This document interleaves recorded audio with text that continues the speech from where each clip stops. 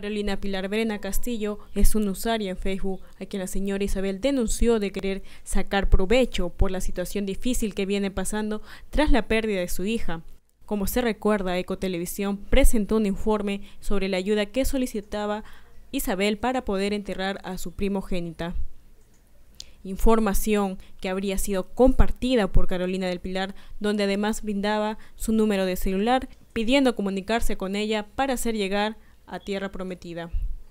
Lo cierto es que Isabel no conocía ni sabía de su existencia de esta mujer, quien a todas luces pretendía lucrar con el dolor de una madre de familia. De parte mía dice, había dado el número de la clave, su código, su teléfono, y embargo yo no conozco a esa señora y nunca la he visto y nunca la... ¿No se contactó con usted antes De, de, hacer esta junta, de juntar las donaciones? No, no, no, ella no me ha llamado, no me ha dicho nada, yo recién me enteré por mi vecino que me dijo, señor, ¿usted conoce a una persona, esta apellida? Castillo. Castillo, yo dije, yo no lo conozco, me dijo, ella está pidiendo plata a nombre de usted y daba acá el número de su teléfono, de celular, ha dado un número que lo tiene, no sé, está en el celular de mi hijita.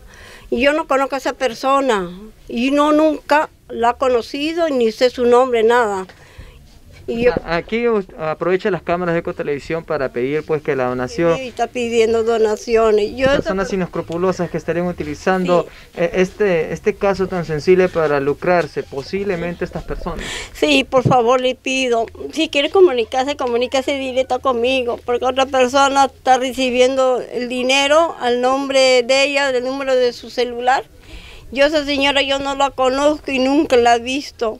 Por favor, si quieren llamar, llámenme a mí en persona y yo quiero hablar a usted con persona, porque otras personas están agarrando el nombre mío y están pidiendo colaboraciones. Y esa señora no me llamaba a mí, ni la conozco y nunca la he visto.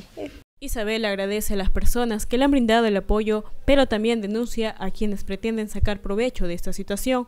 Pide que para cualquier ayuda puedan comunicarse al celular de su hija, al número que aparece en pantalla.